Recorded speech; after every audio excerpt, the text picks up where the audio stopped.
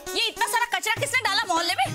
किसने डाला भाई? चला जाता हूँ किसी की धुन में धड़कते दिल के तराने लिए। कि, किसने डाला ये कचरा? अरे भाभी जी सुर में बोलिए सुर में सुर में पूछिए। ये कचरा किसने फेंका? कौन है वो? ऐसे। क्या बात है गुप्ता जी।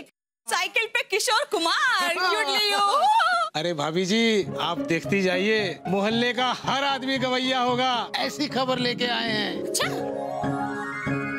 अरे कैसी खबर लाए हो गुप्ता? अरे मिठाई लाल कानपुर में संगीत प्रतियोगिता होने वाली है। और जीतने वाले को पहला इनाम इक्कीस हज़ार रूपए का मिलेगा। इक्कीस हज़ार? हाँ। और साथ में भोजपुरी फ़िल्म सैया फौज में देवरा मौज में इस फ़िल्म में ड्यूट गाना गाने का मौका मिलेगा। क्या बात कर रहे हो गुप्ता? गुप्ता भैया जी। हाँ। नहीं अरे बहू बेटा ये मिश्राइन क्या कर रही है? पता नहीं बाबा जी लगता है ये भी सिंगिंग कंपटीशन में हिस्सा लेगी। क्या? ये भी? ये भी का क्या मतलब है पापा जी आप भी हिस्सा ले रहे हैं क्या? अरे कहाँ बहू बेटा? हम कहा? लेकिन पूरा मोहल्ले संगीत प्रतियोगिता में भाग ले रहा है। अरे आ गए आप।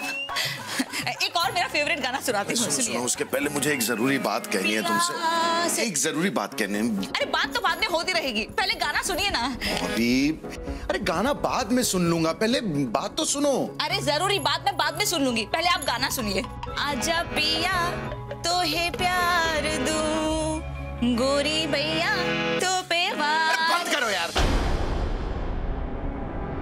गाना सुनो गाना सुनो गाना सुनो।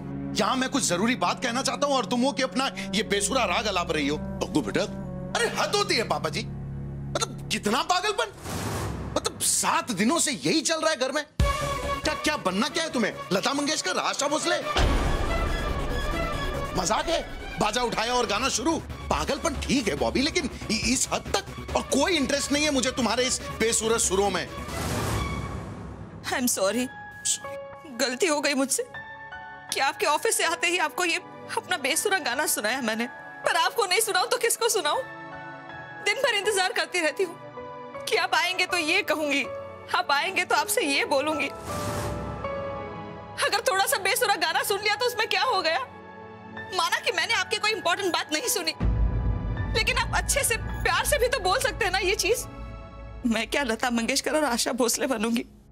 मैं तो अब तक ठीक से बॉबी भी नहीं बन पाई। जैसा परिवार ने बनाया, वैसी बन गई। अगर मैं थोड़ी सी ज़िंदगी जीना चाहती हूँ तो इसमें क्या प्रॉब्लम है? है प्रॉब्लम है। प्रॉब्लम है तुम खाना अच्छा बनाती हो, गाना नहीं। और अकलमंद इंसान वही होता है ना जिसे असलियत का पता चल जाए।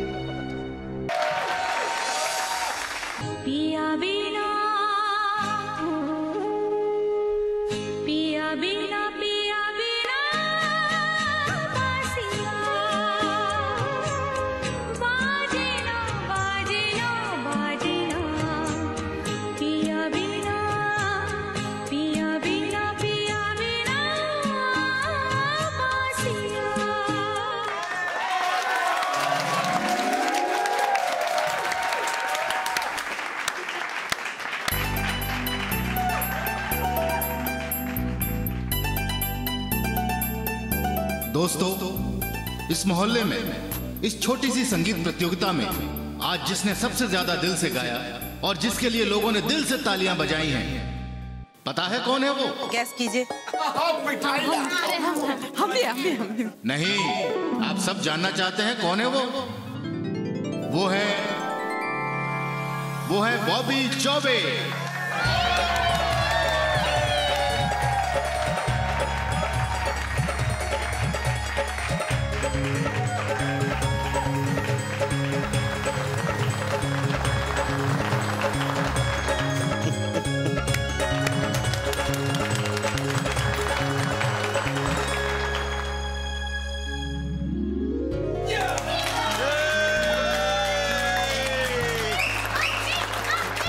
और बॉबी जी ये रहा आपका इक्कीस हज़ार का इनाम।